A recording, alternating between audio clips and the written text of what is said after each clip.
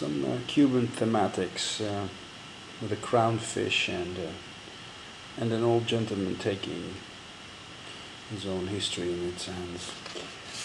Um, Cuba, yeah, what a phenomenal island. I can imagine that it must have been the richest place on earth about 100 years ago. There was a functioning train line and uh, sugar plantations and million of, of cattle.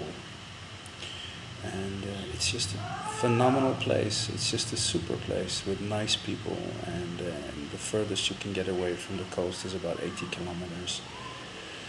Yeah, despite all the uh, embargoes, people seem to be having a good healthcare system and uh, schools going on. I don't know, it's an amazing place.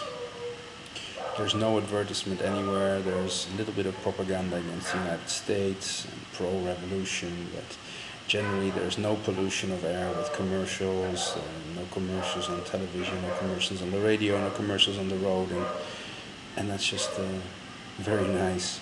Another beautiful thing about Cuba is the fact that nowhere in the country you will find a road sign, so finding your way can be kind of haphazard.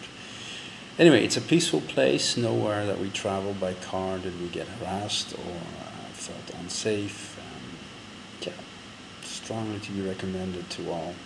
Great lobster, great salsa, beautiful people, beautiful landscapes. So, going back there soon.